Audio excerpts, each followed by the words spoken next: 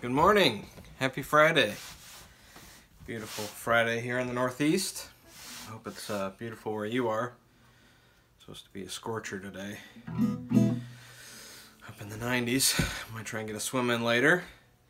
Hope it's uh, hope it's nice wherever you are, and if it's also a scorcher, I hope you uh, you get a swim in as well.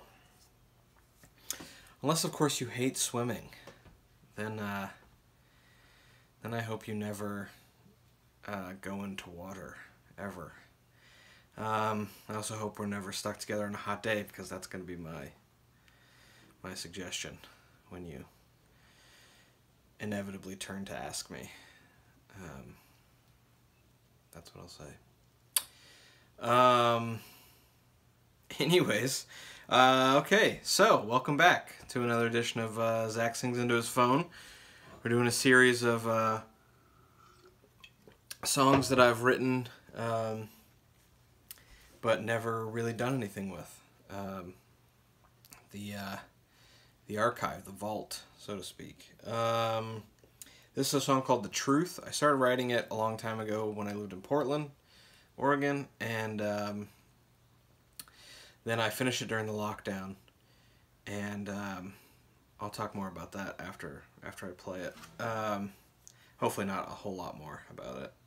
Um, trying to keep this like under 10 minutes if I can. They keep getting longer and longer. Um, but uh, the point is, I wrote this song for my friend um, Camille Weatherford to sing, and um, um, so uh, eventually when we record it, I'm to have her sing it. I just don't have anything coming up that it would work work for, but I'm hoping that this will stand as a recorded testament to my uh, dedication to getting the song done. Um, so I wore this shirt that Camille made. Um, a little uh, tribute to her. She's still alive. makes it sound a little weird. Like she's not with us. She's very with us, and uh, and she does a beautiful version of this song that I'm gonna do. Um, so uh, shout out to her, and um, we'll just uh, get right into it. Okay, this song is called "The Truth." Let's see. Um, lately, when I fix my hat, a little bit of hair falls in there, and I notice it on videos, but I'm too lazy to go back and do it again. So maybe, hopefully, I don't even think it matters. It's probably good for me, like immersion therapy or something. Okay. Anyways, that's the truth, and so is this. This is the truth. Here we go.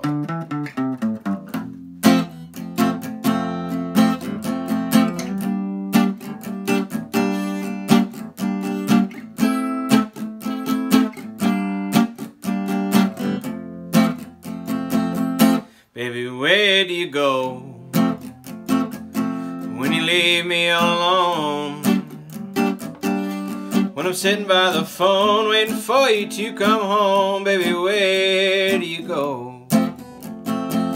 And all these secrets that you keep, they keep you lying to me. All my friends say I should leave, say I'm a fool not to see all the secrets that you keep. And you know that they're right when I say I played the fool too long. But I'll give you one more chance tonight to tell me before I'm gone. Cause I'm tired of all of your lies, your worn out alibis. I'm tired of these tears in my eyes, and I want the truth this time. I want the truth.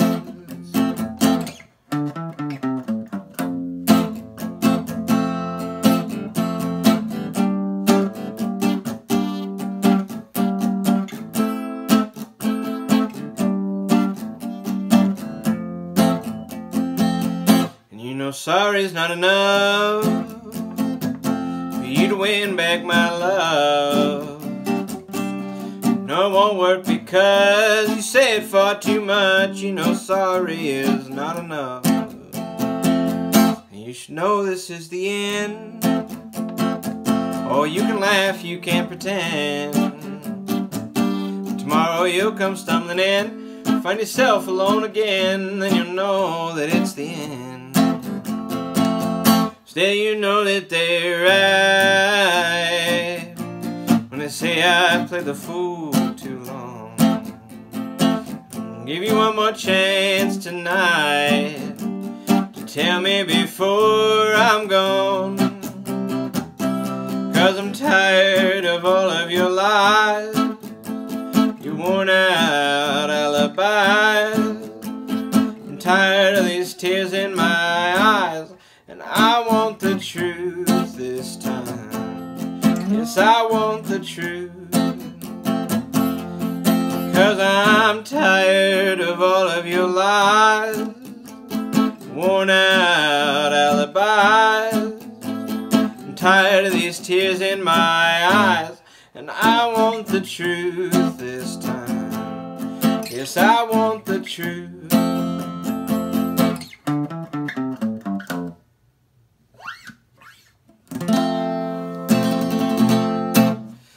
That's how that one goes. That's the truth. Um, um, yeah. Okay. So, um, the idea is uh, that I wrote that song, started writing it, and then stopped. Yeah, that's the concept um, of what I wanted to say about songwriting. My process.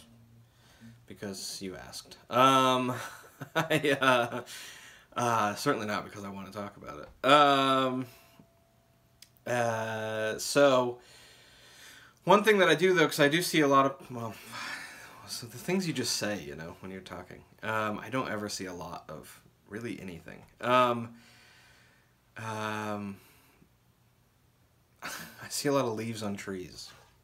I see a lot of rice when I eat rice. Um, but I see sometimes people will talk about like uh, finishing songs and really like working and working and that and then you break through and I think that happens a lot and that's definitely true but there are times where I've really benefited from letting a song just sit so like I wrote that song and I just couldn't figure out what I wanted to do with it nothing really made me like got me excited and so I just let it sit for a few years and learned a bunch more about music and how to play guitar and how to write songs and then during the lockdown I did kind of what I'm doing now and I brought some of these half-finished songs out and started to finish. And by the time I got to that one, I was like, oh, I know how to finish this one.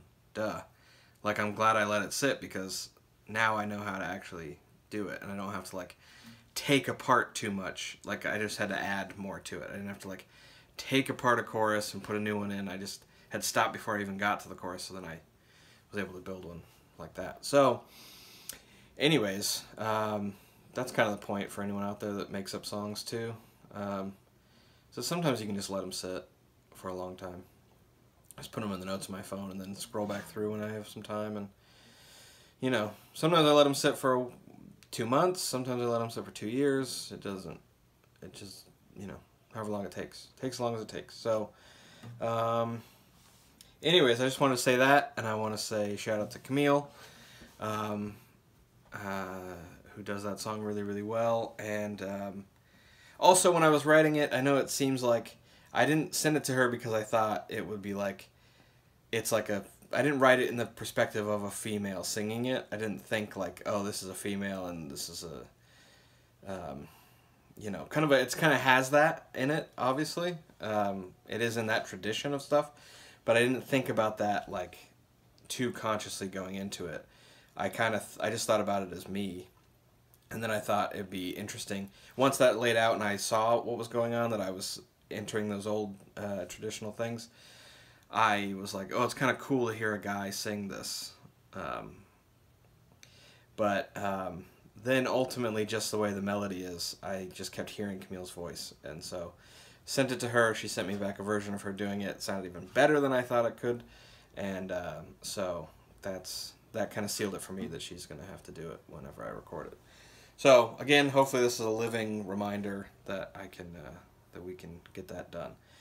And um, okay, hopefully I didn't go on too long. I really appreciate you watching this video. And if this is the first one you're watching and you like it and you've made it this far, you probably have nothing going on. Uh, so why don't you check out the other videos? And if you like anything you like, please send to your friends. Um, it really does help a lot um, to uh, to uh, get the word out a little bit about this guy singing songs uh, into his phone.